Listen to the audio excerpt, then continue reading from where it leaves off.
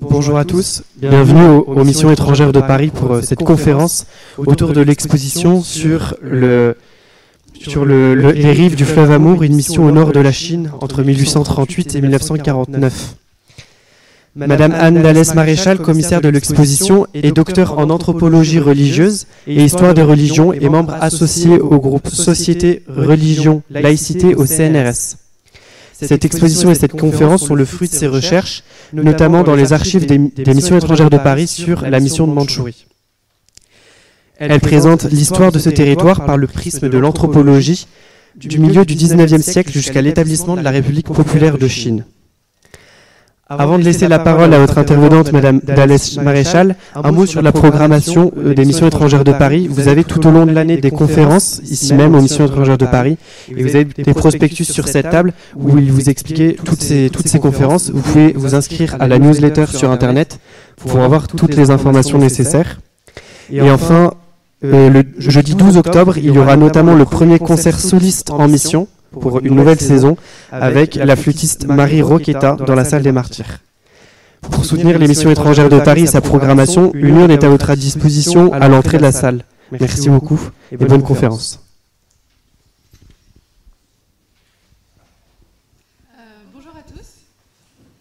Euh, je voudrais remercier les missions étrangères de Paris et l'IRFA euh, de m'avoir donné la possibilité de présenter mes recherches aujourd'hui. Je les remercie également de m'avoir autorisé à, diffuser les photos que vous verrez dans la présentation aujourd'hui. Merci à vous, bien sûr, d'être là. Euh, donc je vais euh, vous parler aujourd'hui euh, de, mes recherches sur la mission de Mandchourie et plus précisément sur ce qui entoure l'exposition qui est en ce moment même aux missions étrangères de Paris. Alors, en 1838, le pape Grégoire XVI établit la mission pour la Mandchourie et la confie aux missions étrangères de Paris. Ce vicariat s'étend euh, de la péninsule du Liaodong jusqu'à l'embouchure du fleuve Amour. Il est limité à l'ouest par la Mongolie et à l'est par la Corée et le Japon. La mission de Mandchourie s'implante sur un vaste territoire aux conditions de vie difficiles, souvent en proie aux conflits politiques et sociaux. La région est habitée de façon euh, inégale et des villes, des villages et des installations sédentaires ou semi-sédentaires s'y côtoient. La Mandchourie se veut d'abord comme la région d'origine des Mandchous, dont la dynastie Tsing, alors en pouvoir en 1840, est issue. Les Mandchous sont une population transfrontalière entre la Chine, la Mongolie, la Sibérie ou encore la Corée. Et ils considèrent la région comme un lieu stratégique pour gérer les relations avec le reste de la Chine, avec la Russie et avec l'Asie centrale. Une ou deux fois par an, les autorités envoient aussi quelques navires au nord de l'Amour, tout au nord de la région, pour récolter le tribut auprès des populations minoritaires. Ces populations minoritaires sont majoritairement des Tongus, c'est-à-dire des locutrices, des populations locutrices des langues tonguso-manchou. Elles vivent de chasse et de pêche et effectuent des pratiques religieuses dites chamanistes ou animistes. Les Han, considérés comme la population majoritaire de Chine, complètent ce tableau et ils augmentent leur présence euh, tout au long du 19e siècle en Mandchourie et apportent avec eux l'agriculture et euh, développent davantage l'élevage. Au 19e et au 20e siècle, la Mandchourie est aussi une région en pleine mutation à la croisée des empires occidentaux, russes, chinois et japonais. Cette situation géopolitique est complexe et elle modifie les frontières du pays chinois, elle complique les rapports entre les groupes de nationalités différentes et elle influence la perception que les autorités chinoises se font des missionnaires. Pendant ces 110 ans d'existence, la mission de Mandchourie mobilise environ 170 prêtres. En 1898, forte de son succès, la mission est séparée en deux. La mission de Mandchourie septentrionale au nord, basée à Kirin, et celle au sud, méridionale, basée à Mukden. Nous connaissons la mission de Mandchourie principalement grâce aux lettres envoyées par les missionnaires. Ceux-ci écrivent très régulièrement aux structures centrales des MEP, comme la procure des MEP à Hong Kong, ou alors euh, ici, au séminaire de Paris, rue du Bac, mais aussi aux personnes politiques comme les autorités consulaires, par exemple. Ces courriers sont conservés dans les archives des MEP qui sont gérées par euh, l'IRFA, l'Institut de recherche France-Asie. Ils écrivent aussi à leurs proches et certains de ces documents ont été donnés aux MEP. Dans leurs lettres, les informations se croisent et donnent une idée de la vie de ces hommes. Aux soucis financiers, toujours au cœur du quotidien missionnaire évidemment, se mêlent les aléas de la vie en terre lointaine, l'état des routes, la nourriture, les contacts compliqués, etc. Les missionnaires ont également recueilli de nombreuses photographies de la Mandchourie. Dans les premières années, avant que les missionnaires ne soient eux-mêmes munis d'appareils photographiques, ils achètent des lots de photographies aux euh, géographes et explorateurs de la région. Et plus tard, ce sont les pères qui se prêteront à l'exercice et certains d'entre eux constituent même des sortes d'albums pour présenter la Mandchourie.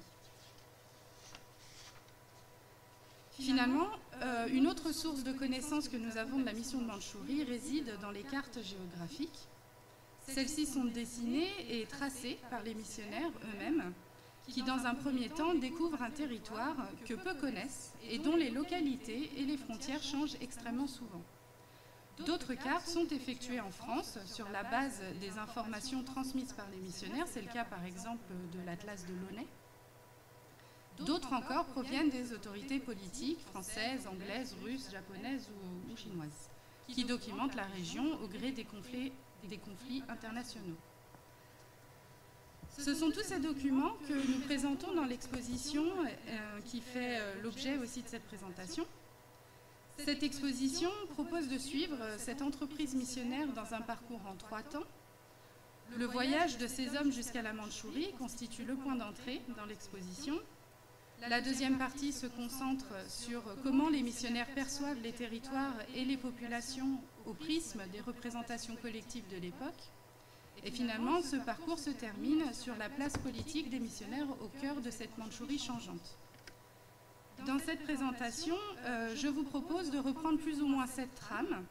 Je parlerai d'abord de l'histoire de cette mission et je parlerai ensuite des rapports et rencontres avec les populations locales pour finir avec la négociation politique qui se joue en toile de fond de la mission en prenant quelques exemples un peu plus concrets de la mission. La mission de Mandchourie commence donc officiellement en 1838. Monseigneur Vérol reçoit sa nomination en 1840 alors qu'il est dans la mission du Sichuan. Il n'en est pas content. Je le cite. Quelle n'a pas été ma surprise et ma profonde stupeur lorsque perdu et comme enseveli au milieu de la forêt, je suis tout à coup transporté au fond de la Tartarie chez les Mandchous. Il ajoute que la seule raison pour laquelle il accepte ce poste est que sinon, les lazaristes, qui sont en Mongolie, ce qu'on appelle aujourd'hui la Mongolie intérieure, auraient toute la, juridiction sur tout le nord de la Chine. Et en effet, la Mandchourie à l'époque ne se présente pas pour les premiers missionnaires comme un terrain de choix. On connaît peu ce territoire. D'ailleurs, Monseigneur Vérol, par exemple, cherche à délimiter la mission de Mongolie attribuée aux lazaristes et celle de Mandchourie, qui est attribuée aux MEP mais personne semble ne pouvoir lui donner de réponse. Je le cite. D'abord, jusqu'où s'étend la Mongolie? Les Chinois par ici disent qu'elle s'étend jusqu'à la mer, ce qui pose problème parce que si la Mongolie va jusqu'à la mer, bah, il n'y a plus de Mandchourie. On ne sait pas non plus comment s'y installer. Monseigneur Vérol achète un territoire dans la seule chrétienté qu'il connaisse, dans l'espoir d'y bâtir un endroit où vivre et commencer la mission. Tout cela est très compliqué car les étrangers n'ont pas le droit d'être en Chine. Donc c'est d'abord en clandestin que Monseigneur Vérol et les premiers missionnaires circulent et euh, achètent des terrains. On ne sait pas non plus comment y vivre. Et les missionnaires découvrent les kangs, ces poils qui font également office de lit dans les maisons du nord de la Chine. On ne, connaît pas, on ne sait pas comment se nourrir. La nourriture est, pour citer Monseigneur Vérol, euh, rien de bon et à prix fou.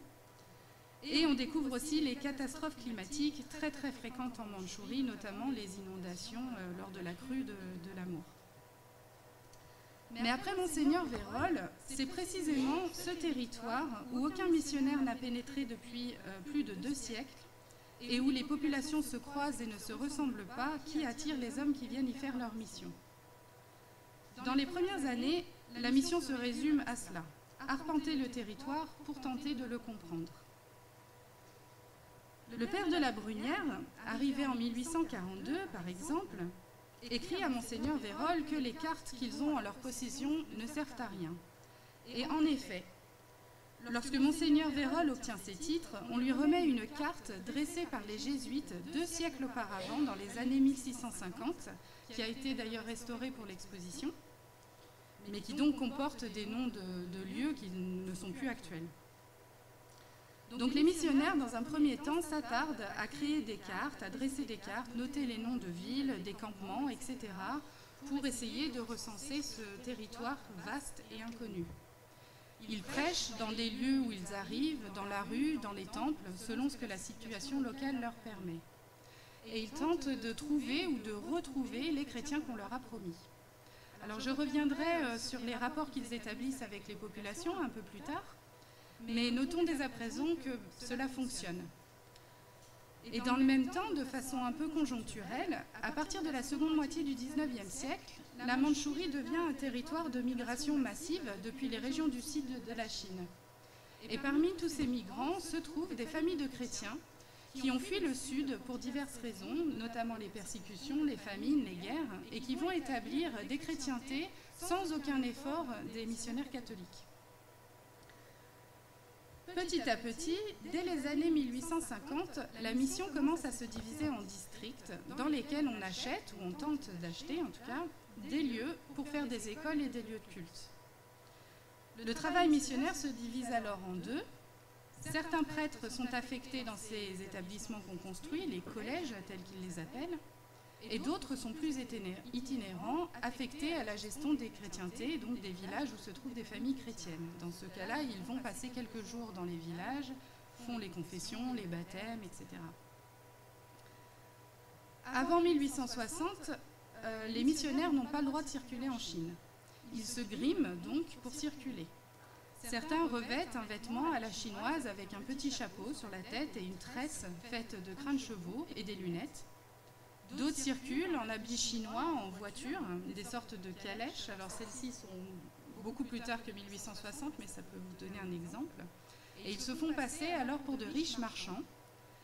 Dans ces cas-là, euh, leurs serviteurs, qui sont les guides des missionnaires, vont en avant sécuriser des chambres individuelles dans les auberges pour éviter qu'on ne voit les pères. Dans certains cas, les missionnaires sont forcés de se cacher dans des placards, des paniers, à fond de cale, dans des faux murs. Et les missionnaires établissent donc aussi, euh, dans le même temps, un réseau de chrétiens chinois qui assurent leur survie euh, au plus fort de la persécution. Et qu'ils se fassent prendre ou non, finalement, ce sont des anecdotes qui circulent beaucoup en Europe et qui contribuent à créer une image un peu romanesque de la Mandchourie, faisant un peu écho au Far West américain avec ses personnages un peu typiques on retrouve euh, des populations nomades aux, pratiques proches de celles des Amérindiens, des hordes de bandits qui sont en réalité d'anciens militaires mandchous qui établissent des sortes de territoires sur lesquels, ils peuvent exercer leur autorité assez librement. On retrouve aussi les autorités locales, les fameux mandarins avec leurs soldats à pied ou à cheval et leurs symboles de pouvoir. On retrouve les Européens qui œuvrent à la construction de moyens de transport modernes, notamment euh, le train. Et au milieu de cela, on a le missionnaire qui est plutôt seul et face à des obstacles incessants. Ces missionnaires de la première génération, comme les nomme Jean Michaud, qui découvrent la Mandchourie, laissent place, à partir des années 1860, à ceux de la deuxième génération, qui vont pouvoir s'appuyer sur les travaux de leurs aînés, qui leur offrent une étude de la langue, des cartes, des lieux sécurisés. À partir de 1875, les sœurs de Porcieux établissent un orphelinat au sud de la Mandchourie, sous le contrôle et la protection des maîtres. L'éducation euh, des enfants dans les orphelinats passe entre autres par l'apprentissage d'un savoir-faire et d'un corps de métier. Cet enseignement a le mérite de permettre aux orphelinats, dans un premier temps, d'être presque autosuffisants. Les enfants travaillent tous à la construction du bâtiment et à l'agriculture pour euh, nourrir euh, ceux qui habitent. Le deuxième avantage, c'est que les garçons retournent ensuite dans leur village et connaissent un corps de métier qui fera d'eux des membres actifs de leur communauté, censés prôner les valeurs chrétiennes. Les filles, quant à elles, sont élevées en bonnes mères de famille à l'européenne. Elles apprennent la couture, la broderie, la cuisine, et on compte sur elles en tant que maîtresses de foyer pour répandre le christianisme autour d'elles. Et on n'hésite pas d'ailleurs à favoriser les mariages entre chrétiens. Vous avez une photo là d'un mariage euh, entre chinois chrétiens des années 1910, euh, quitte à rompre les alliances établies entre les païens, entre guillemets, tels que les appellent les prêtres, dans la petite enfance. Pour faire ça, les prêtres ou les sœurs gardent une partie de l'argent alloué aux missions pour payer les parents à dédommager, ou même parfois pour payer les parents qui déposent leurs filles en bas âge, qui leur cèdent alors leur autorité parentale. Et on trouve de, nombreux récits de ces mariages arrangés rompus suite à la conversion d'un des enfants dans les Annales de la Sainte Enfance, par exemple, une publication qui rend compte euh, des travaux de cette association dans le monde.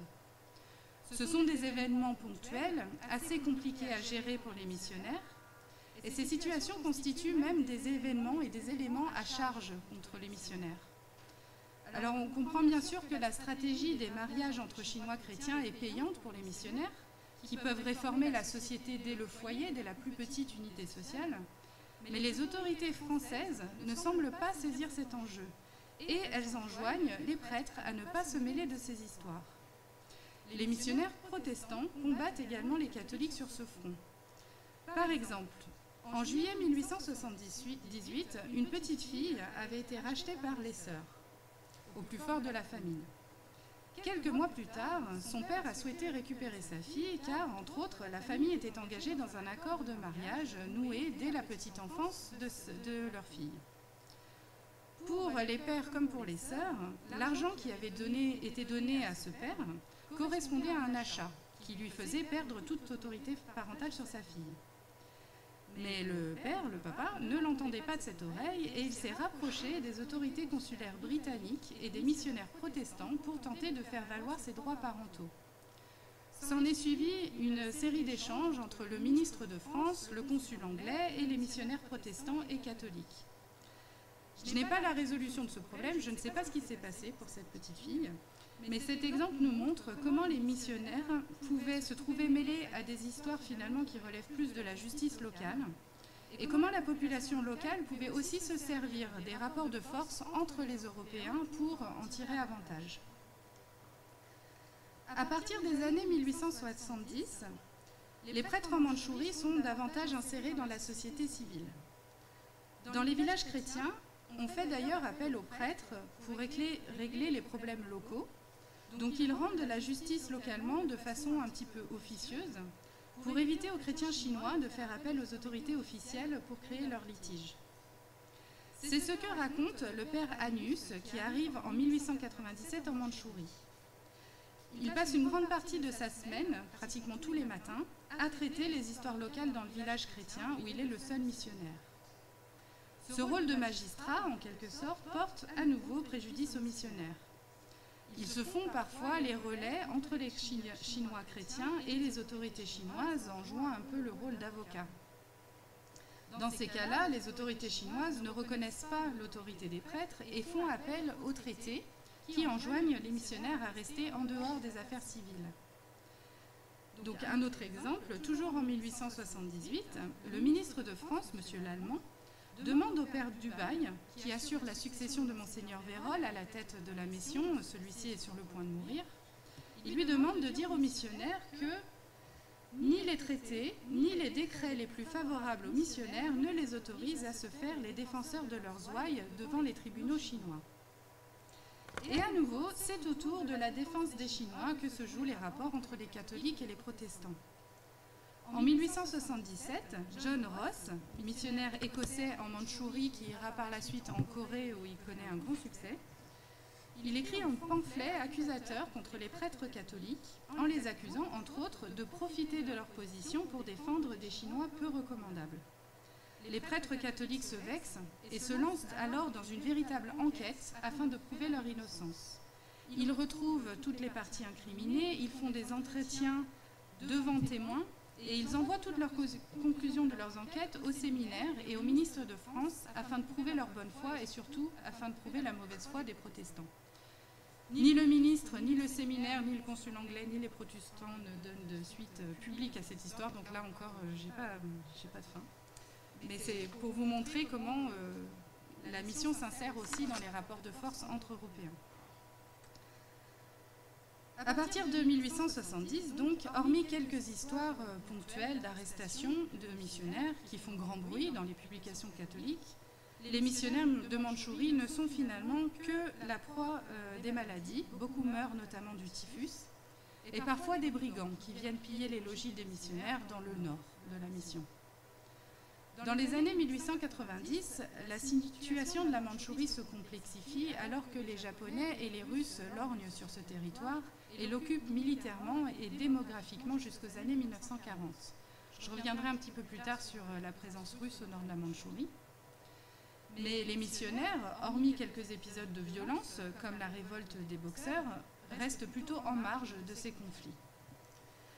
La mission se développe avec succès et à la fin des années 1890, la mission est donc séparée en deux, avec la partie du nord basée à Mukden et celle euh, du sud basée à Mukden et celle du nord basée à Kirin. Selon toutes les apparences, la séparation de cette mission est un signe de succès. C'est plutôt vrai. Au sud, les missionnaires ont désormais de nombreuses chrétientés reconnues. Les prêtres y œuvrent tranquillement.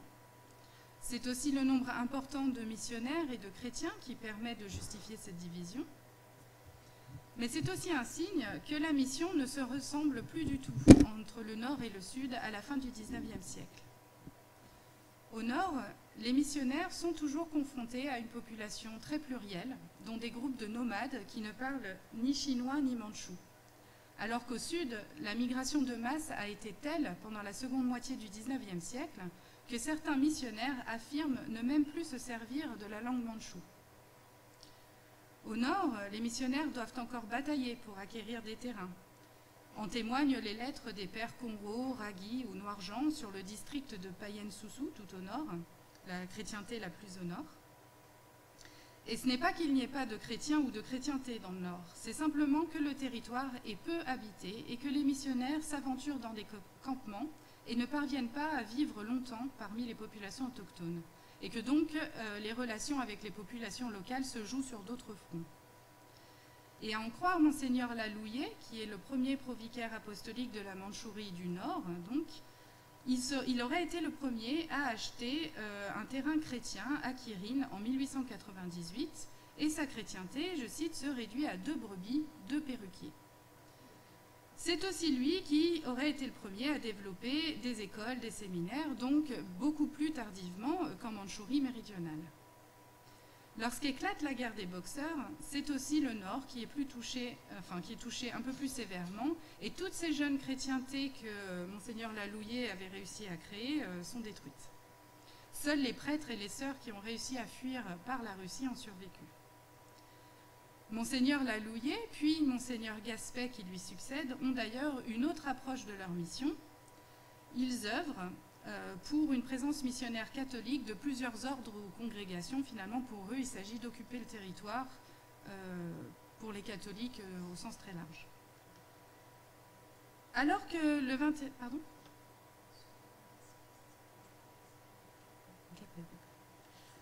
Alors que le XXe siècle s'ouvre sur le territoire, mis à part l'épisode de la guerre des boxeurs, la mission suit son cours au rythme des conflits géopolitiques.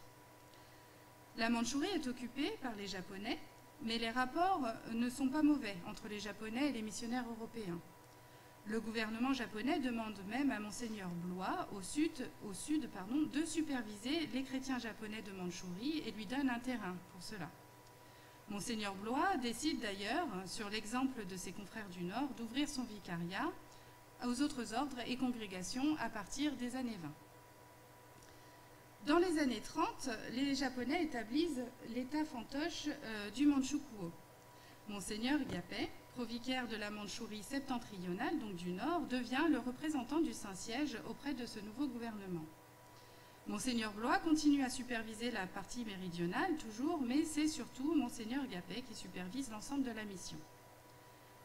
En 1940, un grand séminaire commun à toutes les missions de Mandchourie est ouvert, euh, qui est confié à euh, Monseigneur Lemaire, vous pouvez voir son sceau d'ailleurs dans l'exposition, et au Père Assomptionniste. Les missionnaires catholiques sont ensuite forcés de quitter la Chine communiste à partir des années 1849 et Monseigneur Gapet quitte la Mandchourie en 1951. Donc après cette brève histoire un peu sélective de la mission de Mandchourie, passons à quelques-unes de ses spécificités. Lorsque les missionnaires arrivent en Mandchourie en 1840, au tout début, ils ne connaissent pas la population locale. Ils savent qu'il y a des Mandchous, bien sûr, des Mongols, qui sont plutôt connus et plutôt bien connus, notamment grâce aux Lazaristes, qui sont arrivés quelques années plus tôt dans leur mission et qui publient pas mal de récits de leur mission, notamment dans les annales de la propagation de la foi. Et ils savent aussi qu'il y a des groupes euh, autochtones, plutôt nomades, dont on ne sait pas grand-chose. Dans un premier temps, il s'agit donc pour les missionnaires de comprendre qui habite en Mandchourie. Et en s'efforçant de les connaître, les missionnaires nous ont fourni des sortes d'enquêtes ethnographiques, et certaines de leurs descriptions sont parmi les premières que nous ayons en langue occidentale. Ces travaux ont donc toute leur importance dans notre connaissance de, ces populations et de leur histoire. Avant d'acheter un terrain et de s'établir au sud de la Mandchourie en 1842, Monseigneur Vérol reste quelque temps avec les Lazaristes en Mongolie euh, intérieure aujourd'hui. Il apprend euh, auprès des Lazaristes qui peuplent cette partie. Il apprend que ces derniers apprennent souvent la langue tartare, tartare étant un nom communément donné aux populations d'Asie centrale, non Han ou Mandchou, en dépit de leur grande diversité. Dans une de ses premières lettres, Monseigneur Vérol expose ce qu'il observe du pays. Et on constate que pour lui, les populations minoritaires se divisent en deux, les Mongols et les Yupitatse. Alors, les Yupitatse, on ne les connaît pas. Ils sont d'abord donc appelés ainsi euh, par leur nom chinois transcrit phonétiquement, puis pot de poisson, c'est ce que cela veut dire, littéralement. Pour Monseigneur Vérol, il regroupe l'ensemble des populations qui vivent sur les bords du Sungari et de l'Ussuri et de l'Amour jusqu'au nord de la mission, qui n'a donc pas encore été observé, et ce sont des populations vêtues de vêtements fabriqués en peau de poisson. Alors mentionnons ici simplement qu'aujourd'hui on considère que cette région est peuplée d'une dizaine de groupes minoritaires, donc on voit bien là que monseigneur Vérol ne connaît pas qui est en Mandchourie à l'époque. La première description qu'il en fait laisse peu de doute sur son opinion. Je le cite La corruption est à son comble chez un grand nombre. Ils sont sans règles, sans presque distinction de genre, ils vivent à la façon des brutes. Vraiment, l'intempérie extrême de ce pays abrutit l'homme. Ces Yupitatse, selon que le signifie leur nom, sont couverts de peau et d'écailles de poisson. Et on n'en apprend pas beaucoup plus. Un an plus tard, ces connaissances sont un peu plus grandes, basées entre autres sur les observations des autres pères qui l'ont rejoint. Je le cite à nouveau. Ils sont, comme l'indique leur nom, vêtus de peau de poisson. Je pense que c'est le phoque ou le veau marin, ils sont encore à l'état sauvage, nomades et comme perdus au milieu des bois et des forêts. Ils ne cultivent pas pendant l'été, ils s'occupent de la pêche qui les nourrit et leur sert de vêtements pendant l'hiver. Ils se réunissent dans les forêts, dressent leur tente autour d'un grand bûcher, une pile énorme, plutôt grande qu'un arbre. Chaque année, ils viennent à une époque fixe faire du commerce avec les Chinois, échangent contre leurs fourrures précieuses, castors, loutres, zibelines, etc., de la toile, du thé, de la farine, des céréales, et ils ne permettent pas aux Chinois d'aller chez eux et ne leur, ne leur, sont pas soumis. Donc un an plus tard, on en sait un peu plus euh, sur les, ces peaux de poisson. Ils sont vêtus, ils ne sont plus simplement couverts de peau d'animal, donc ils sont un peu plus humanisés.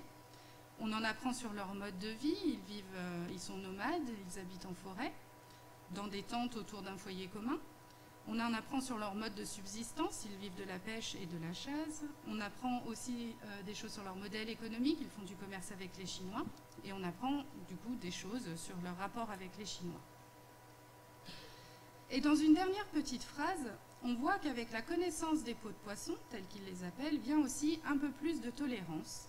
Et Monseigneur Vérol remet même en question son premier avis sur la corruption des mœurs. Je le cite à nouveau.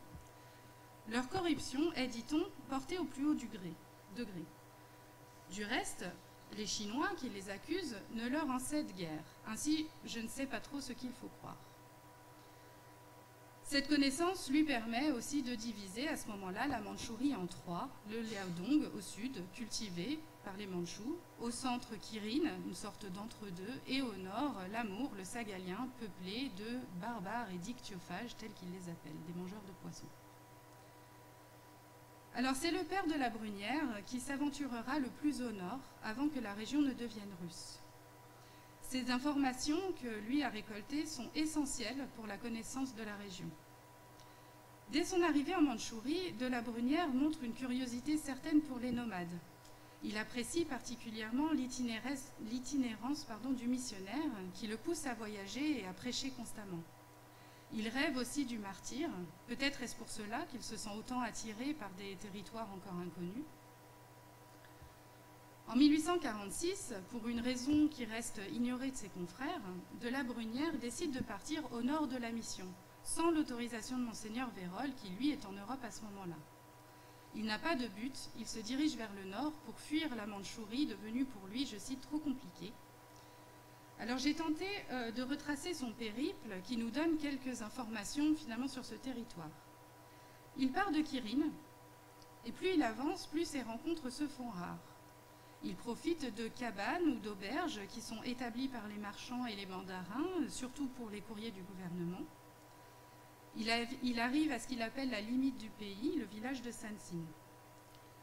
Il faut avoir un passeport pour se rendre au-delà. Là, il apprend que la population locale est divisée en trois localités, les longs poils, les longs poils rouges et les peaux de poisson, et qu'il faut voyager par le fleuve au risque de s'embourber et de se perdre dans la taïga. Il décide à partir de ce moment-là de circuler en toute clandestinité dans ce territoire qui n'est pas seulement interdit aux Européens mais aussi aux habitants de la Chine. Dès lors, son discours se place décidément contre les autorités chinoises qui prélèvent le tribut auprès des populations locales et commettent des exactions dont il est témoin. À Soussou, euh, il vit entre autres avec des pots de poisson dont il apprend la langue et auprès des Mandchous et des Chinois. Il vit auprès d'eux une vingtaine de jours, puis est forcé de quitter les lieux à cause des autorités, donc il retourne à Sansing, puis il part dans le désert et dans la taïga pour aller trouver davantage de pots de poisson. Il voyage sur l'Ossuri et le remonte jusqu'à l'embouchure du fleuve Amour, ou presque. Il rencontre principalement des marchands chinois en quête de ginseng, qui se vend très cher à l'époque. Ce sont généralement des hommes seuls qui ont fui les villes ou les villages après avoir commis quelques exactions. Ce sont donc des hommes plutôt dangereux pour de la brunière, donc il ne reste pas très longtemps avec eux. Il rencontre également environ 80 familles de pots de poisson, dont il recense les activités, la chasse, les modes de vie, la pêche, la façon de se vêtir, etc.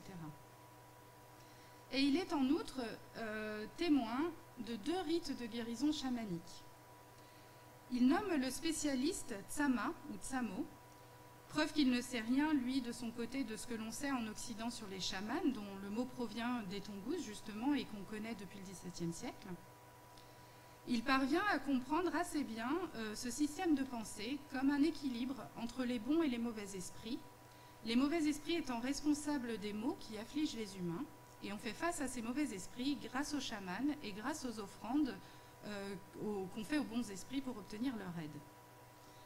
Il décrit le chaman. Un bonnet où flottent des bandelettes en papier et de, enfin le costume du chaman. Euh, un bonnet où flottent des bandelettes en papier et de légères écorces d'arbres couvrent sa tête. Sa tunique de peau de cerf et de toile bigarrée de diverses couleurs lui descend jusqu'aux genoux. Mais la ceinture est ce qui paraît le plus nécessaire à ces opérations. Elle est triple et porte trois rangs de tubes de fer ou de cuivre longs de 7 à 8 pouces qui pendent sur la partie supérieure. Alors j'ai mis ici une photo euh, de cette fameuse ceinture qui date du début du XXe et qui est conservée au musée de Rabarovsk. Et on constatera donc la justesse de la description de, la brunière. Il finit sa dernière lettre en expliquant qu'il vit non loin d'un village de peau de poisson depuis quatre mois, dans une cahute abandonnée, contraint à l'exil par les natifs, on ne sait pas trop ce qui s'est passé. Il compte trouver une barque et remonter l'amour chez les longs poils jusqu'à l'embouchure, et ses guides l'ont abandonné. Euh, cinq ans plus tard, en 1851, les pères Vénaud et Berneux partent à sa recherche et apprennent que le père de la Brunière a réussi à rejoindre l'embouchure, ou presque, à quelques kilomètres de Nikolaïevsk, il se serait fait tuer par ce qu'on appelle à l'époque les longs poils, les Kilimi, une population de chasseurs et de pêcheurs qui vivent au nord de l'Amour et sur l'île de Sakhaline et qui sont aujourd'hui connus sous le nom de Nifre.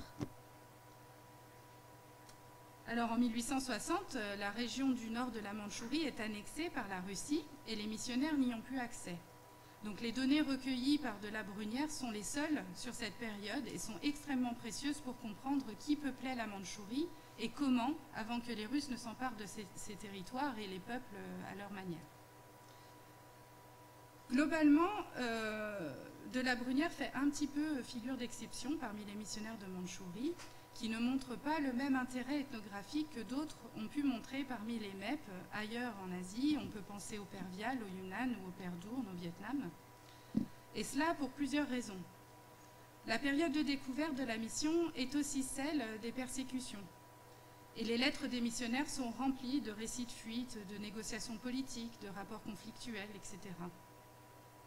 Les missionnaires aussi ne parviennent pas à s'implanter dans les villages autochtones et à vivre avec les populations locales.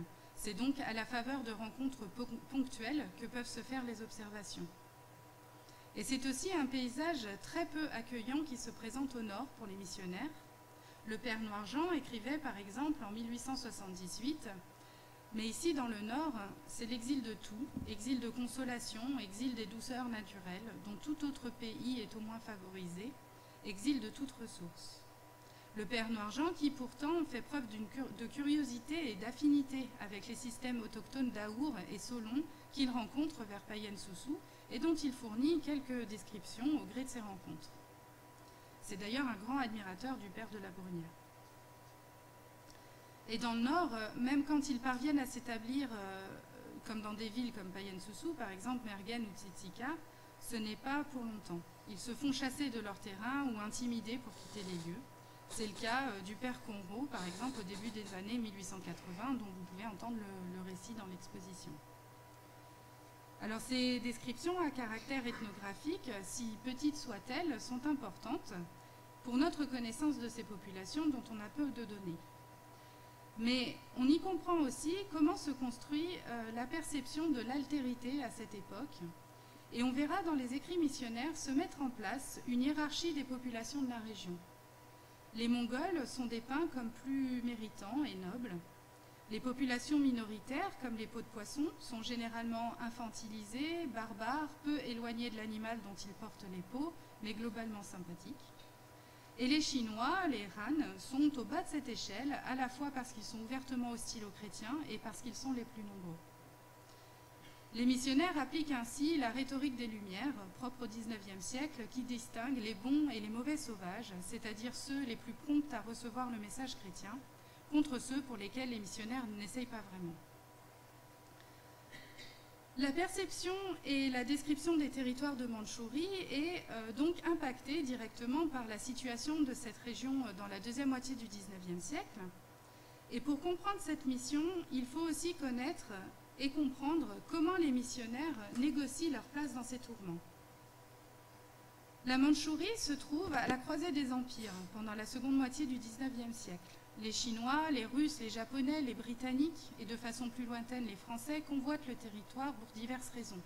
J'ai noté en bleu sur cette frise sélective euh, les guerres qui touchent la Mandchourie de près ou de loin pendant son histoire. Donc elles sont quand même euh, nombreuses.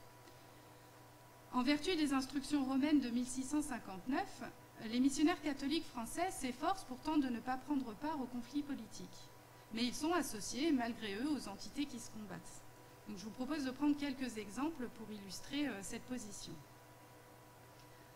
Avant 1860, la Chine est soumise au système de cantons. L'entrée des étrangers sur le territoire chinois est contrôlée et limitée aux échanges commerciaux dans quelques ports. Les missionnaires y circulent donc en toute clandestinité et sont souvent arrêtés. On leur reproche d'abord d'être à la solde des autorités européennes, et plus précisément des Russes. Lorsqu'ils sont interrogés, on cherche à savoir pour qui ils travaillent, s'ils ont des soldats cachés dans leurs murs, s'ils rendent des comptes à tel ou tel personnage politique. Mais on les prend aussi, et peut-être surtout, pour des sorciers ou des magiciens, pour reprendre les termes de leurs lettres. En 1858, par exemple, le père Ménard est arrêté.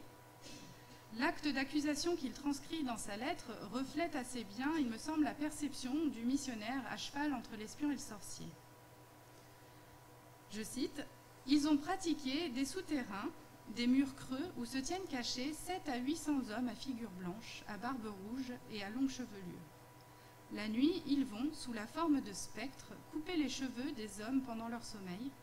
Ils coupent aussi les ailes des poules. Ils achètent des petits-enfants dont ils arrachent les yeux et le cœur et dont ils tirent le sang pour en composer leur charme. Cette méfiance à l'égard des missionnaires, à l'égard d'un spécialiste religieux finalement, se poursuit généralement lors des détentions. Les autorités chinoises essayent souvent de faire fouler la croix aux pieds aux chrétiens, comme pour annuler euh, les pouvoirs des spécialistes religieux chrétiens. Alors dans certains cas, comme au Tonkin en 1843, euh, le père Berneux, qui sera plus tard en Mandchourie puis en Corée, et le père Gali sont sous les fers. Et les gardes dessinent des croix par terre dans le sable autour de la natte et ils portent aussi, ils plantent partout aussi des sièges et des bâtons d'encens euh, autour des nattes où dorment les prisonniers. Et en dessinant des croix par terre, les gardes tentent de restreindre les mouvements des missionnaires à leur natte puisque ces derniers ne marcheront pas sur la croix. Dans les cas les plus extrêmes, c'est le martyr qui attend les missionnaires. Avant même de partir, les missionnaires se mettent en situation et se préparent psychologiquement au martyr. En janvier 1840, quelques mois avant de se voir confier une mission en Mandchourie, le père de la Brunière est en voyage à Rome et il se promène dans le Colisée. Il écrit à sa sœur J'éprouve toujours une grande joie au milieu du silence de cet univers où il me semble entendre le soir des martyrs qui me, racontent leur triomphe et me disent que je suis leur frère, appelé comme eux, je le crois, et malgré mon indignité, à rendre témoignage et le témoignage du sang s'il le faut pour la gloire du Maître. Un autre témoignage, en 1924, euh, le père Anus écrit une biographie sur son aïeul du même nom qui fut tué par les boxeurs en 1900. À en croire l'auteur, qui s'appuie sur les archives institutionnelles conservées ici et euh, familiales pour écrire cet ouvrage, le père, ce père se préparait physiquement aux souffrances du martyr en appliquant toute une série de restrictions sur sa vie quotidienne, comme des jeûnes à répétition, du sport euh, à l'extrême, etc. Et arrivé en Chine, dans les lettres des pères, on se rend compte que cette préparation psychologique et physique n'était peut-être pas vaine. Avant 1860, euh, la plupart des missionnaires subissent au moins une arrestation. Et un certain nombre d'entre eux en meurent, comme le père de la Brunière qui meurt donc dans le nord de la mission chez les Nifres, ou le père Berneux qui sera exécuté en Corée. Un des épisodes les plus marquants est bien sûr celui qu'on appelle euh, la révolte des boxeurs. Alors les boxeurs étaient grossièrement une société dite secrète, fermement opposée à la présence d'étrangers en Chine. Profitant du soutien politique de l'impératrice, ils se livrent à des massacres dans tout le nord de la Chine. Les missionnaires sont des cibles privilégiées et ils sont tués à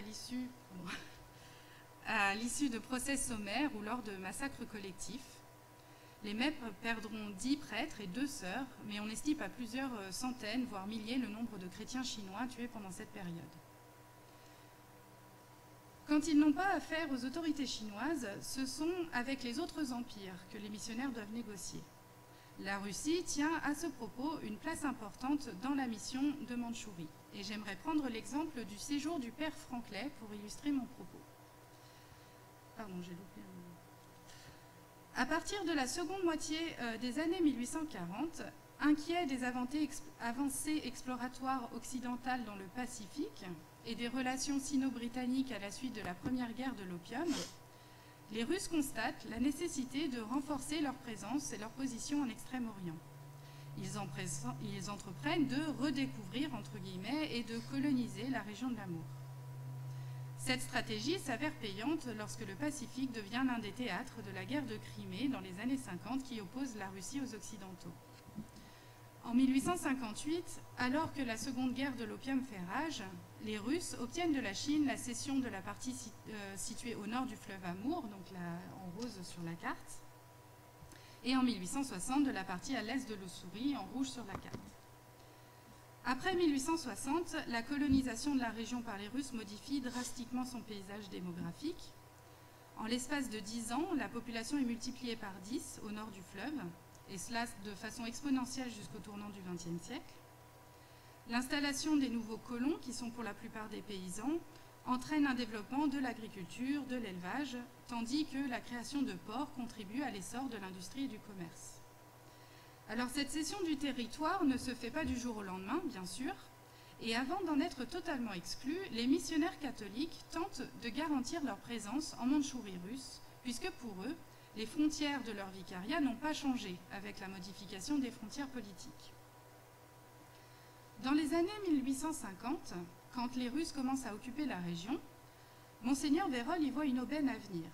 Il espère pouvoir établir des postes de mission à Nikolaïevsk et à Sakhalin, donc tout au nord de la, près de l'embouchure du fleuve Amour, pour faire venir les missionnaires en Mandchourie par la terre, donc par la Russie, plutôt que par la mer via Shanghai et Hong Kong avec tous les dangers que cela comportait à l'époque.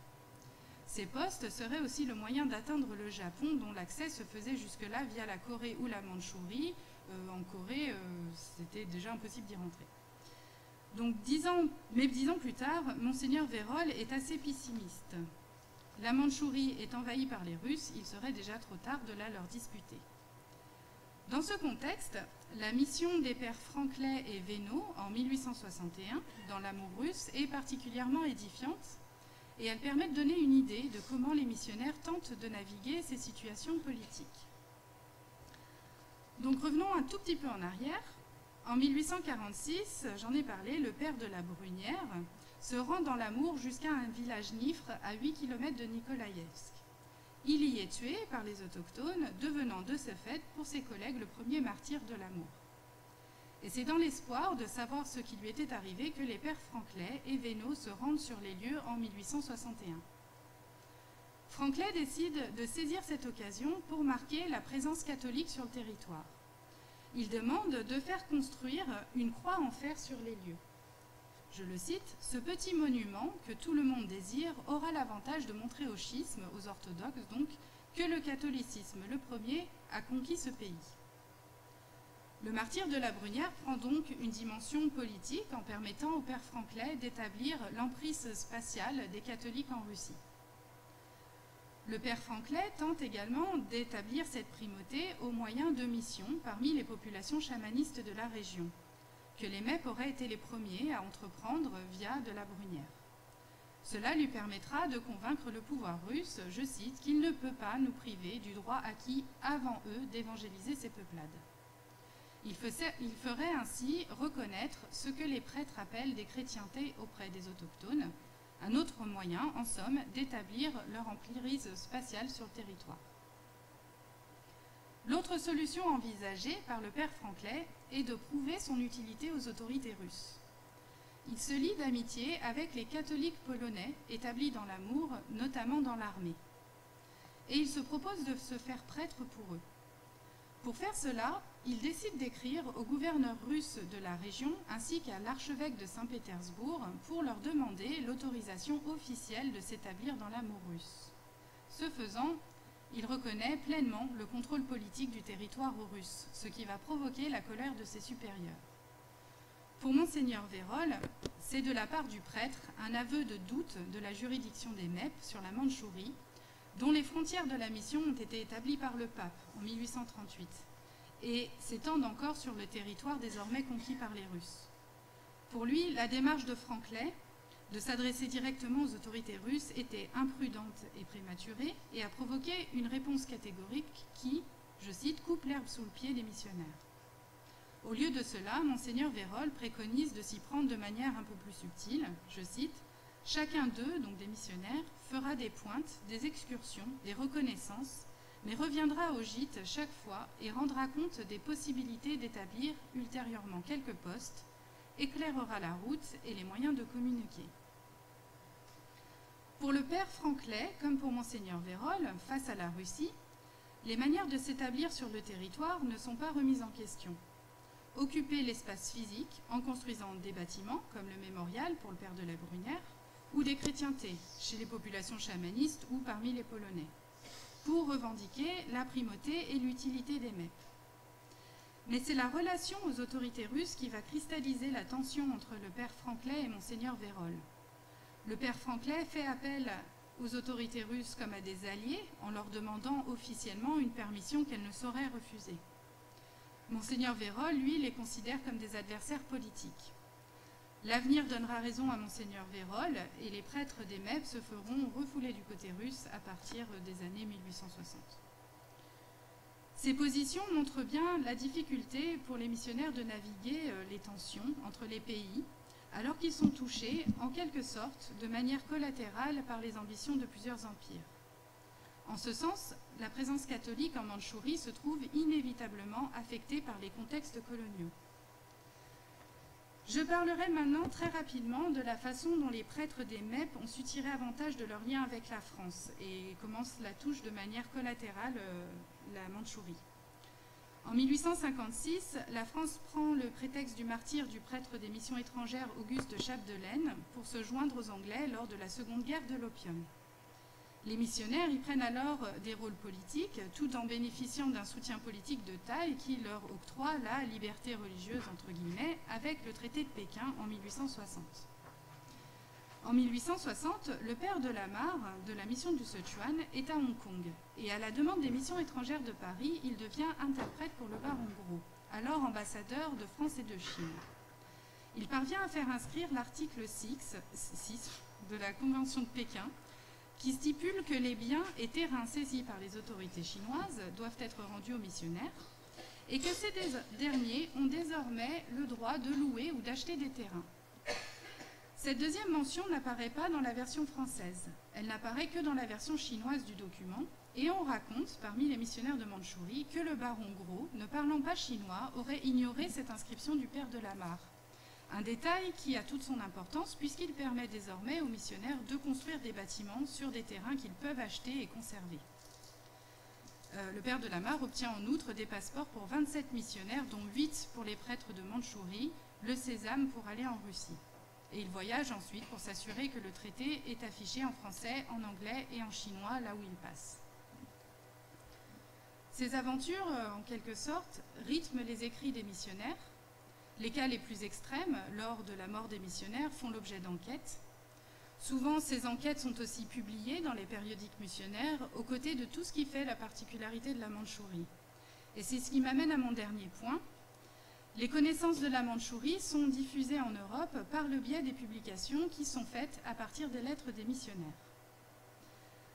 La diffusion des publications missionnaires a pour double objectif assez évident de légitimer et de prouver la nécessité de l'entreprise missionnaire.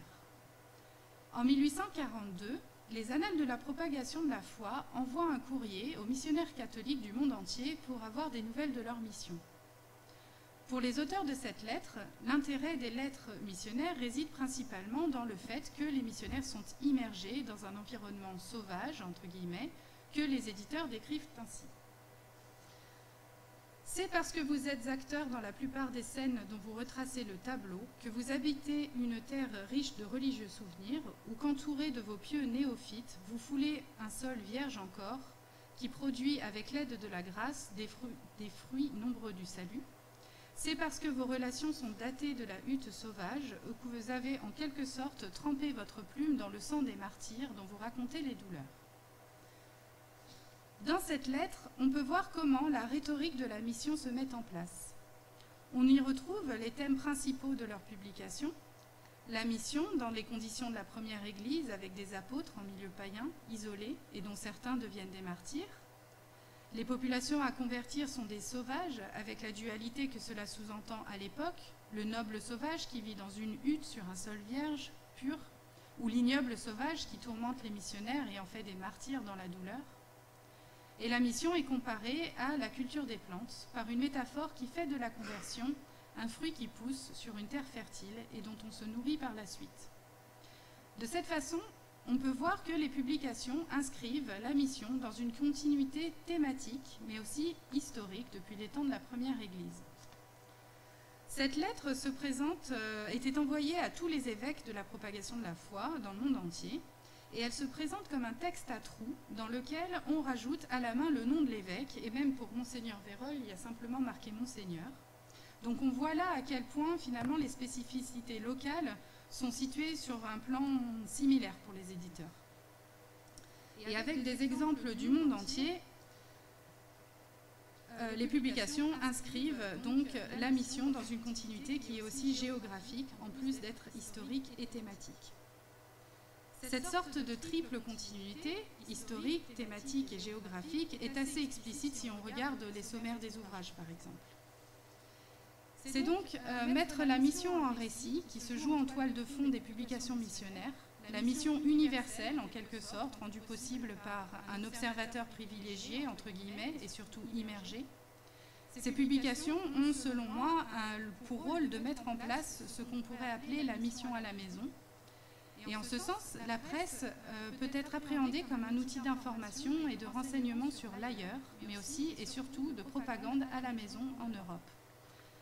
Et alors que l'autre exotique, les pots de poisson, les Chinois, les Mandchous, deviennent des figures habituelles pour les Européens, cette altérité permet aux missionnaires de mieux comprendre les sociétés dont ils sont issus et parfois d'en faire la critique.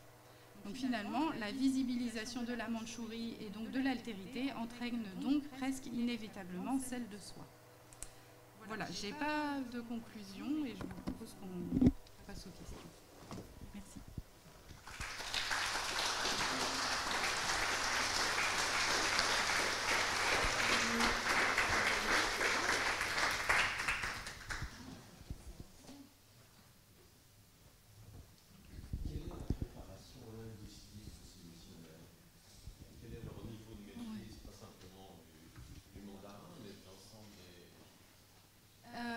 Très euh, lacunaire quand ils arrivent en, Mandchourie. Ils restent quelque temps à Hong Kong pour euh, commencer à bien maîtriser les bases de la vie quotidienne et ensuite ils doivent rester avec euh, un père déjà installé plusieurs semaines voire mois en fonction de la vitesse à laquelle il progresse. Et d'ailleurs, on a certains pères qui restent longtemps isolés dans des villages avec un catéchiste qui va leur apprendre le chinois lorsque c'est difficile. Donc quand ils arrivent, ils maîtrisent très mal la langue. Et après, c'est un petit peu une question d'individualité. Pardon. Euh, certains deviennent euh, vraiment très forts et, s'intéressent à la langue, et d'autres euh, s'en servent de façon pragmatique pour vivre au quotidien, mais ne la maîtrisent jamais vraiment entièrement.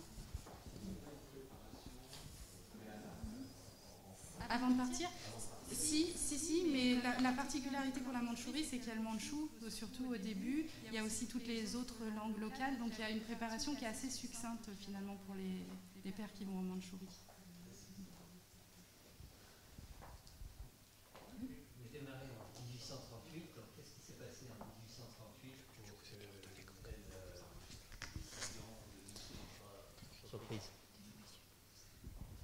Pourquoi, la, la, date de 1838 bah, C'est sous l'impulsion euh, du pape en fait, qui, crée à ce moment-là euh, missions. Il y a aussi justement la mission de Mongolie intérieure qui est créée un petit peu avant dans les années 30.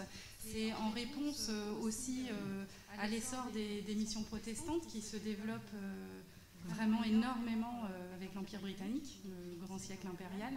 Donc voilà, il y a aussi les, guerres occidentales un peu partout dans le monde qui font que les présences occidentales se renforcent et qu'on veut renforcer la présence euh, catholique. Combien était-il de missionnaires avec Monseigneur Vérol au début? Au début, euh, jusqu'aux années 1950, ils sont euh, en tout sur cette, une douzaine. Au début, ils sont trois. Monseigneur Vérol est tout seul. le père de la Brunière le rejoint vite avec un ou deux autres sont très peu nombreux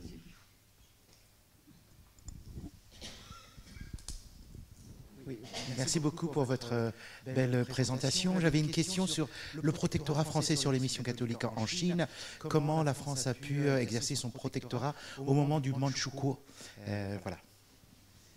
Euh, J'ai pas vraiment la réponse à ça.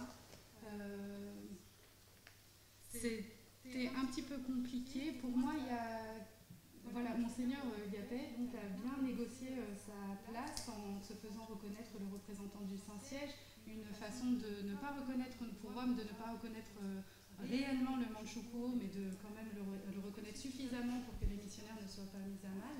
Euh, c'est une preuve d'intelligence politique, je pense, de la part de Monseigneur Gapet. par contre, je ne pourrais pas vous répondre par rapport au protectorat français. Alors, je rebondis sur, sur la représentation pontificale à, au Manchukuo, parce que c'était un poste un peu ambigu et que les, la Chine d'aujourd'hui reproche euh, au Saint-Siège d'avoir reconnu l'État euh, fantoche du Manchukuo et donc euh, la présence de l'envahisseur japonais. donc voilà, monseigneur Gapé, il a cette, comment dirais-je, cette casquette un peu ambiguë là-bas et il y a aussi la mission Manchukuo qui est arrivée à Rome pour euh, se faire reconnaître du pape. Et, ça, ça, a fait la presse européenne et la presse américaine à ce moment-là, parce qu'ils ont forcé un peu cette rencontre avec le Saint-Père, qui presque malgré lui a dû euh, euh, accueillir cette mission du Manchukuo. Oui, il y a un jeu sur les mots d'ailleurs, sur ce, titre de représentant du Saint-Siège plutôt que provicaire auprès de... Enfin, c'est très intéressant. 1838, ça fait quel, bassin de population C'est plutôt dense, plutôt... Euh... En Oui. C'est un petit peu dense, on va dire, au sud de la Mandchourie, euh, vraiment dans, dans, dans, le bassin. Quoi. Euh, ce sont surtout euh, des, des, enclaves urbaines qui sont fortifiées et qui sont aussi des garnisons militaires, euh, des villages de Mandchous et beaucoup d'installations euh, semi-sédentaires euh, on n'a pas le droit de s'installer comme on veut en Mandchourie à cette époque, au début, avant les années 1860. Donc euh, il n'y a pas, quand même pas beaucoup de monde. C'est pas.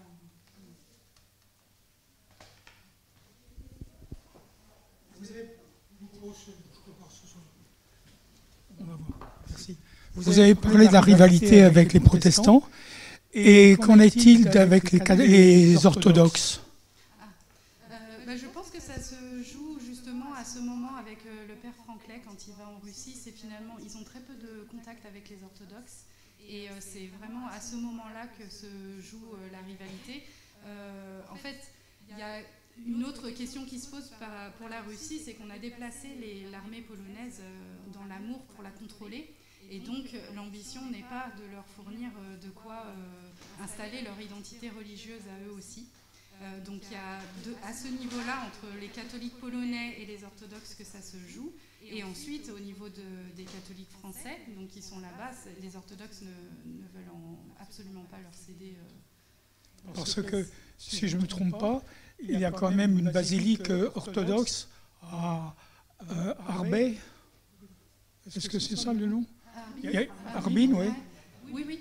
Euh, alors ça, c'est un peu plus tard que la période de l'annexion, ouais. Les Russes sont là. Alors il n'y a pas... Il n'y a pas beaucoup de, de mélange en fait. Hein. Par contre, pas, pour moi, c'est pas aussi conflictuel qu'avec les protestants, par exemple. Merci bien. Bonjour. Euh, c'est une très jolie photo, photo, derrière.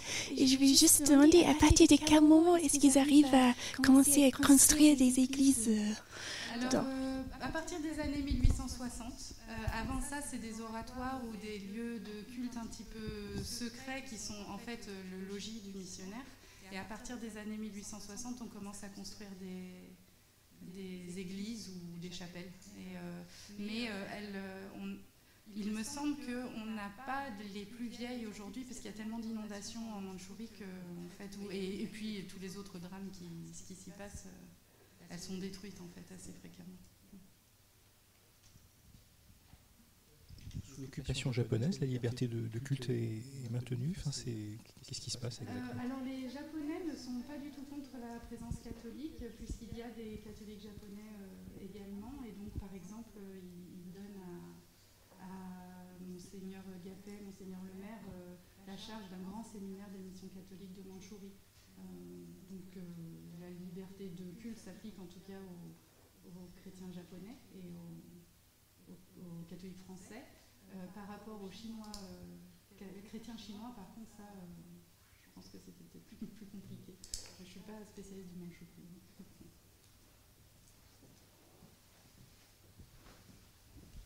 Oui, merci. Et comment est-ce que c'était suivi en France, tout ça? Est-ce qu'il y avait un intérêt, euh, je vous ai passionné, etc. Des... Voilà. Alors, euh, S'il vous plaît. Euh, bah, justement, dans les publications, c'est quand même euh, beaucoup publié. Euh, Il y a les annales de la propagation de la foi, les annales de la Sainte Enfance, euh, les missions catholiques. Il y a énormément de publications des missions. Les récits des missionnaires de Mandchourie sont parmi les autres récits de mission. Il me semble qu'il y a quand même du coup une littérature assez florissante et, et lue. Voilà. Donc euh, selon moi, enfin, ces, ces publications sont quand même éditées à pas mal d'exemplaires, donc euh, ce sont des informations qui circulent et qui contribuent à créer euh, l'image de la Chine euh, au 19e siècle. C'est un petit peu ce qu'on en sait. Excusez-moi, une, une autre pierre après. Justement, dans, dans mes archives familiales, par exemple, chez moi, j'ai des photos, des, euh, non, non, des cartes postales où, en fait, tout le monde s'envoyait, s'écrivait. euh, alors, les, les- dans, dans les, dans les villes de France, un petit, vous s'ennuyez un peu. On est, visiblement, on était absolument passionnés par tout ça, quoi. Voilà. Je reviens sur, euh, sur la langue. À partir du moment où ils ne maîtrisaient pas la langue, comment est-ce qu'ils ont pu euh, évangéliser la population? Parce que c'est à- c'est pas évident de. Alors, ne, pas- il ne la maîtrisait pas au niveau zéro non plus, il se débrouillait. euh. Alors, il y y a des cas, bah, par exemple, l'exemple du père de la Brunière, c'est un bon exemple. En fait, son, son meurtre, euh, il arrive parce qu'il n'arrive pas à se faire comprendre, à faire comprendre sa position, son rôle, son travail. Donc, il y a des, des- moments très compliqués. Et après, l'évangélisation se faisait surtout au niveau de, de l'éducation, de l'apprentissage. euh, voilà, les, jeunes enfants qui allaient dans ces écoles de fortune, un petit peu au début, apprenaient euh, à lire et à écrire. Et par ce biais, on, on entrait. euh, dans le- Donc c'était surtout les jeunes. Beaucoup. Oui, Pas après, les- Il y avait un, un intérêt aussi pragmatique pour les familles, euh, puisqu'il y avait. euh, on apprenait souvent un corps de métier en Bah oui. se convertissant. On- il y a des exemples. Alors là, c'est plutôt euh, au niveau de la Mongolie intérieure et donc pas forcément les MEP, mais il y a des exemples de villages entiers qui ont euh, mis en place des systèmes économiques un petit peu autosuffisants qui permettaient quand même de survivre euh, différemment des autres populations autour et donc de survivre à des moments de famine, de catastrophes climatiques, etc. Ah bah oui, parce que je veux dire, euh, euh, enseigner les vérités théologiques quand on ne connaît pas la langue, bon, c'est assez hermétique pour une population euh, qui sait ni lire ni écrire. Oui, oui, euh, oui, oui, ça va, c'est c'est très euh, restreint euh, au début. Et après, bon, bah, ceux qui s'y intéressent plus, ceux qui vont devenir euh, rentrer dans, dans ce qu'ils appellent leur séminaire avant qu'il euh, là on va un petit peu plus loin. Et d'ailleurs, on envoie, dans les premières années, on envoie ceux qui s'intéressent plus à la religion à Hong Kong. Il y en a quelques-uns qu'on envoie ailleurs. Et aujourd'hui, on en a une idée? Non, alors euh, aujourd'hui, c'est plus euh, les MEP, de toute façon, en Mandchourie. Et euh, alors là, euh, je ne connais pas du tout euh, aujourd'hui. Je connais du côté russe, mais là, c'est encore un autre biais.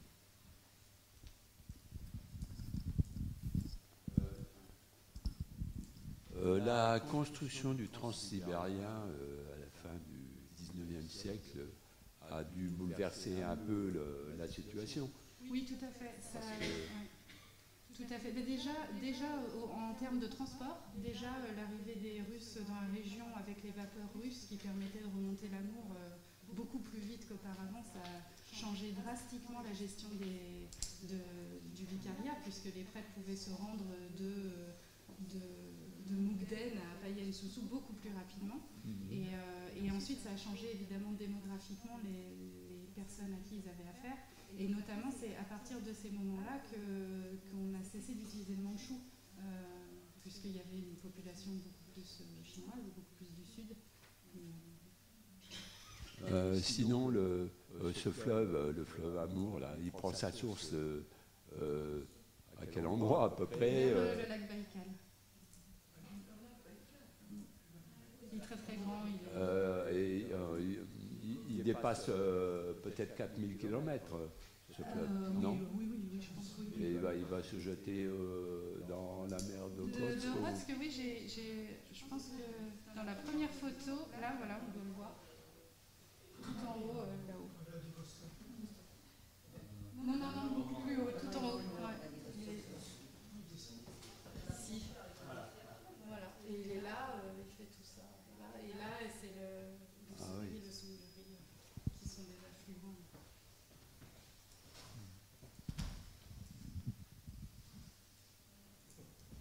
Merci beaucoup pour votre euh, présentation. Euh, moi, j'aimerais que vous, repreniez le sujet euh, des religieuses qui accueillaient des petites filles. Parce que bien souvent, des religieuses ont été massacrées parce qu'on les accusait d'acheter des enfants. Or, d'après la, enfin, la manière dont vous présentez le sujet, c'est qu'au fond, c'est un accord entre les religieuses et les parents qui confiaient leurs filles. hein, on, parle des filles euh, qui étaient souvent abandonnées d'ailleurs euh, sur les chemins, et les religieuses donc préféraient. alors, c'est un accord, c'est un contrat, mais on ne peut pas dire que c'est un achat, c'est-à-dire en fait on sauvait les petites filles en, donnant de l'argent aux parents. C'est compliqué en fait. hein, euh, et j'aimerais bien que vous, reveniez un petit peu là-dessus, parce que c'est un gros sujet et on accuse toujours, les Chinois accusent toujours les religieuses d'avoir créé une sorte de commerce des, petites filles. euh, Après, les, les sœurs le présentent aussi parfois comme ça dans leurs lettres. euh, Il y, a, il très pragmatique euh, dans, cette présentation. Après, évidemment, c'est sûr et certain que dans le discours des religieuses, il y a l'idée que de toute façon, euh, c'est le seul moyen aussi de sauver euh, ces petites filles et que même si c'est au plus fort de la famille, pour les parents qui viennent déposer leur, leur enfant, ils ne laisseront leur fille que si on leur donne un, dédommagement. Donc il y a, oui,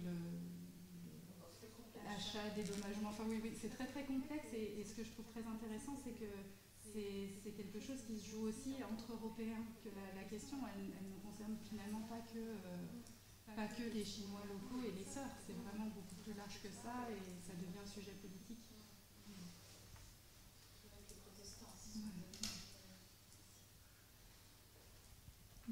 Je vous remercie beaucoup de votre intervention. Euh, je voulais savoir, au niveau de l'époque, euh, justement, de l'expansion du catholicisme, il y avait également, sur le local, euh, du confucianisme. Est-ce que vous pouvez nous raconter un petit peu plus sur le sujet et les propositions qui ont été faites à l'époque ou qui ont pu également être un- une pierre d'achoppement par rapport au catholicisme ou pas? Euh, Moi, je me suis surtout intéressée aux sources des missionnaires qui, finalement, eux, ne s'intéressent pas beaucoup euh, aux cultes locaux. Euh, pour plusieurs raisons. Euh, alors déjà, ils ont une population tellement variée en fait à- en face d'eux que c'est difficile d'avoir une image, euh, on va dire systématique de, la personne qu'ils ont en face d'eux. Et ensuite, parce que Parmi les populations qui pourraient avoir les, cultes les plus chinois, on va dire, en fait, ce sont des populations vraiment démunies qui se convertissent aussi pour des raisons pragmatiques et les missionnaires, selon moi, d'après ce que je lis, euh, n'ont finalement que très peu accès à la spiritualité de ces populations. Du coup, il n'y a pas vraiment de discours qui se développe. C'est pas des, des choses que j'ai lues par contre euh, chez les missionnaires euh, lazaristes de Mongolie intérieure, où là, voilà, il y a, il y a une- un enjeu derrière ça, mais pour les missionnaires de Mandchourie, euh, C'était pas le sujet. Ouais. Non, non, mais c'était quand même sur un territoire beaucoup plus établi. Quoi. Beaucoup.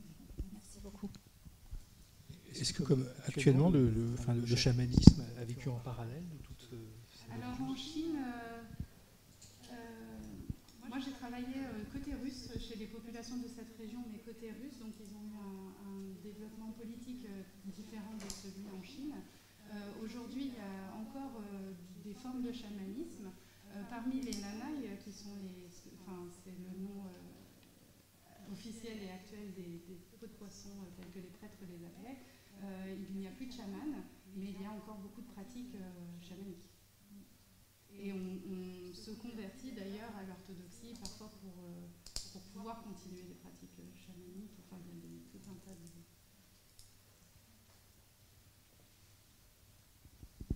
Est-ce qu'on sait où sont enterrés les premiers missionnaires de Mandchourie et qui ont, sont morts là-bas? Oui, alors certains oui. Euh, par exemple, il me semble que Monseigneur Vérol est dans la reconstruction d'une des églises qui avait été construite au début. beaucoup non. voilà. Par exemple, il y a des petits livres qui ont été faits par les prêtres qui repartent sur les faire des enquêtes sur les massacres des boxeurs, par exemple, où là on n'a pas les lieux euh, de sépulture, et donc ils sont allés essayer de trouver euh, les lieux, euh, alors 30 ans après, sur la base des discours locaux, où pourraient être les lieux de sépulture des, prêtres massacrés. Et savez-vous où est enterré le père Venot? Non, non, je ne sais pas. Et la, euh, la merveilleuse cathédrale que vous aviez sur l'écran tout à l'heure, est-ce que vous pourriez nous dire quelque chose là-dessus? Euh, C'est la cathédrale de Kirin qui a été euh, bâtie, si je ne me trompe pas, dans les années 20.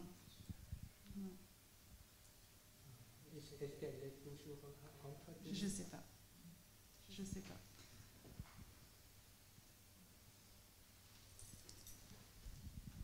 À combien évalue-t-on le pourcentage de personnes qui ont été converties, finalement? Si on en croit les terres, euh, il y en avait des milliards. Euh, Bonjour, est-ce que euh, vous savez s'il y a d'autres sources d'informations, notamment du, côté chinois, sur, sur les activités des, missions? À Hong Kong ou à Taïwan J'imagine qu'il y en a, c'est sûr. moi, je ne les ai pas consultés.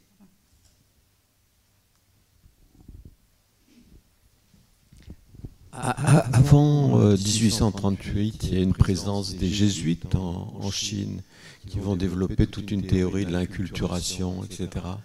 Euh, qu'est-ce que ça représente et quel a été l'héritage de tout ça Alors, euh, les jésuites euh, s'aventurent très peu en Mandchourie, en fait, quand ils y sont. on a cette carte, justement, qui date des années 1650, d'un des seuls voyages au-delà de la muraille de Chine. par rapport à la Mandchourie, on va dire l'héritage jésuite euh, n'est pas immense. Et par contre, euh, quand Monseigneur Vérol, par exemple, parle, le père de la Brunière aussi, ils s'attendent, sur la base des écrits des jésuites, à trouver quelques chrétientés. Et bon, bah, ils trouvent euh, rien. quand ils arrivent, c'est pas, c'est pas ouais, comme d'autres endroits en Chine. Merci pour votre présentation très complète. Euh, la, proclamation est mise en place en 1912 de la Première République de Chine, avec euh, les, trois principes énoncés par Sun Yat-sen, notamment le nationalisme, a-t-elle euh, compliqué la situation pour les, missionnaires étrangers, qu'ils soient étrangers en Chine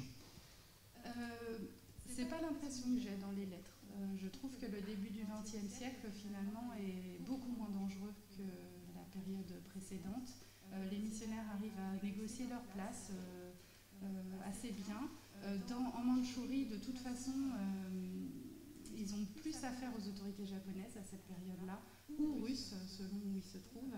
Donc, euh, non, c'est pas l'impression que j'ai pour la Mandchourie.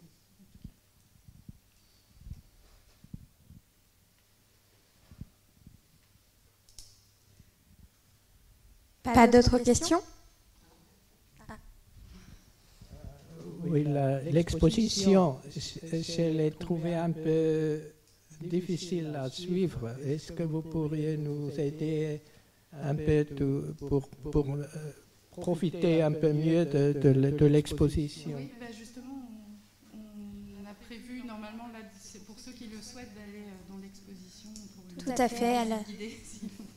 Tout à fait. À la suite de cette conférence, une visite guidée vous sera faite euh, par Madame Dallès Maréchal dans l'exposition à côté de la chapelle.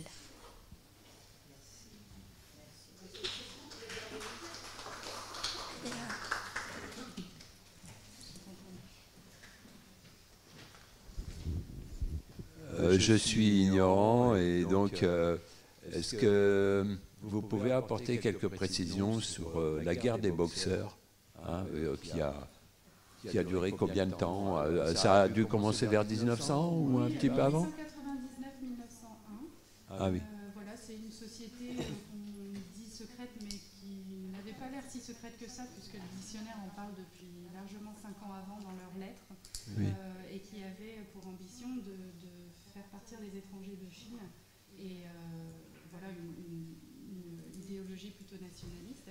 Et euh, bon, par rapport aux missionnaires, euh, forcément, ils ont été la cible assez de choix dans le nord de la Chine, puisque en plus, ce qu'on trouve dans les lettres sur cette période-là, c'est que les missionnaires euh, se pensent à l'abri euh, des persécutions depuis plusieurs décennies. Donc, Ah. ils ne se disent pas que c'est possible euh, qu'il y ait un massacre de, de cette ampleur, comme ce qu'on voyait dans les années 1850 en Mandchourie. Voilà. Et donc, tous, un petit peu du jour au lendemain, fuient leur, leur, chrétienté, plutôt par la Russie, et euh, où on redescend euh, pour retourner vers, euh, vers le Golfe, vers là où il y a beaucoup plus de monde, pour aller dans les, enclaves britanniques ou américaines, pour chercher se mettre à l'abri. Et certains des pères refusent d'abandonner leurs ouailles, en fait, parce que quand les pères n'étaient pas là, c'était les chrétiens chinois. Et c'est dur à estimer le nombre de morts de chrétiens chinois, mais il y en a eu énormément. Voilà. Est-ce que la prise des légations étrangères, euh, c'était à cette époque ou à un autre moment Non.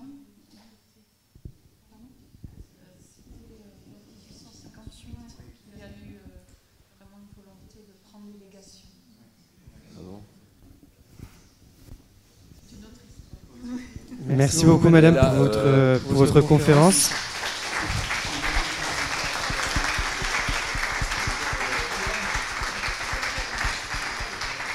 Merci beaucoup, madame, pour cette conférence. Pour ceux qui le souhaitent, vous pouvez suivre madame Dallès pour son exposition.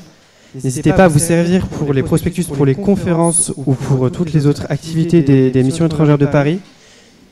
Et il y a toujours l'urne qui est euh, à l'entrée pour soutenir la mission. Merci beaucoup.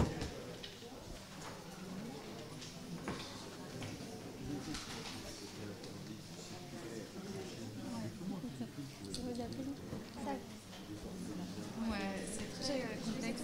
Euh, oui, et surtout les, les missionnaires euh, ne le disaient pas très ouvertement dans leurs lettres, puisque si Il n'y a jamais pas d'autre visibilité de l'exposition C'est juste au cas où. Euh, non, il euh, il y en a une prochaine le 28 octobre. Madame Ah, euh, d'accord. Dallas Maréchal, euh, revient le 28 octobre. pour faire seulement une visite. Bah, certains y Oui, ça. parce que, en fait, en Mandchourie, c'était un peu le no man's land où finalement, si un mandarin était un petit peu corrompu et un petit peu. On pouvait acheter un territoire, mais on n'était pas à l'abri que 15 ans, 10 ans, 3 ans après, on, soit- on se fasse éjecter de ce territoire. Donc c'était très ponctuel et très. euh,